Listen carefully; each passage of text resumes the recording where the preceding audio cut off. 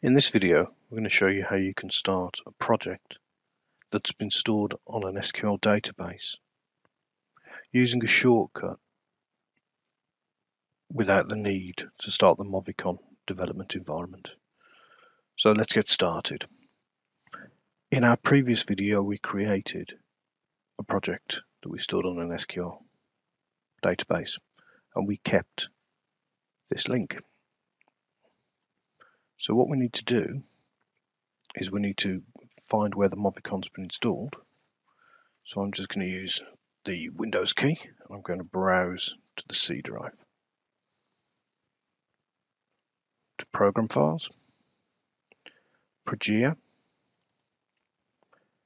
Next 4.0, and the file we're looking for is Movicon RT.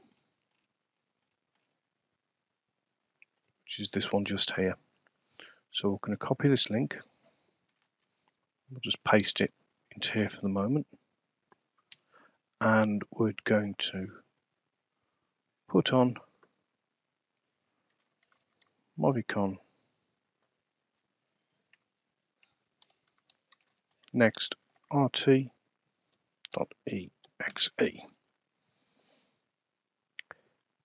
So what we need to do is add these two together with a couple of switches.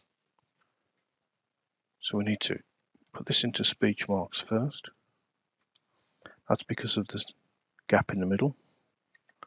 Then we need to put dot file to specify where the file is, and it's on here.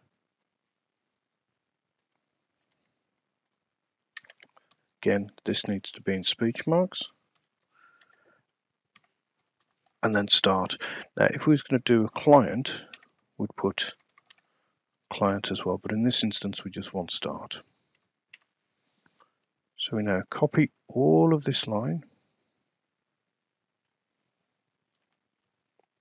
I'm going to right click, create a new shortcut, paste that in, click next,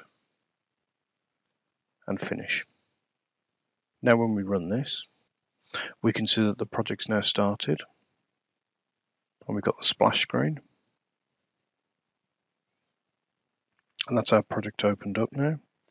And that's how you can open an application that's been stored on an SQL database. Thanks for watching.